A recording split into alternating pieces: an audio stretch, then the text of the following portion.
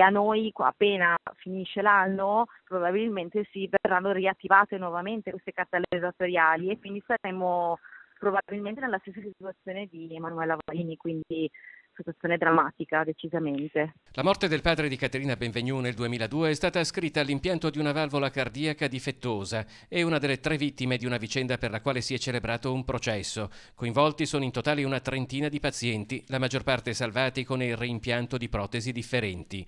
Con l'azzeramento della sentenza di risarcimento tutti si trovano ora a dover rifondere le somme inizialmente ottenute.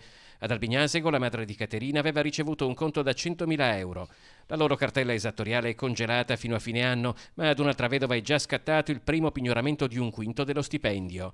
In molti avranno enormi difficoltà a portare a termine i risarcimenti. Famiglie che lanciano un appello alla Regione perché si decidano i criteri di erogazione dei 300.000 euro inseriti nel bilancio 2018, ma non è l'unico appello. Eh, chiediamo a questo punto al governo o insomma allo Stato che qualche forma di condono rispetto a queste cartelle esattoriali, che vengano stralciate, che vengano annullate, perché non è giusto che noi, in quanto già vittime di questa situazione di mala sanità, che non abbiamo creato noi, ma siamo costretti a subirla, dobbiamo addirittura arrivare a, a pagare e a, a restituire dei soldi che in realtà ci spettano.